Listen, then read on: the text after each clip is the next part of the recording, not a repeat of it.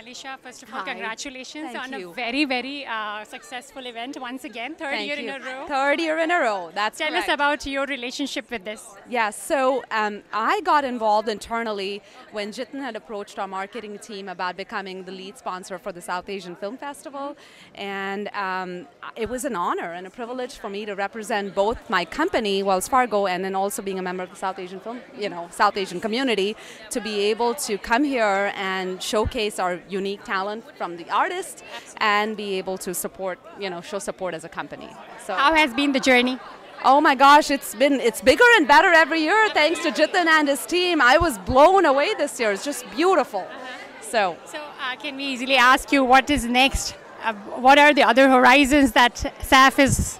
you know, uh, from what Jitin tells me, his hopes are to he wants to make this he wants to make this bigger and better for all of us in the community who can who have the privilege of partaking in something that's so beautiful.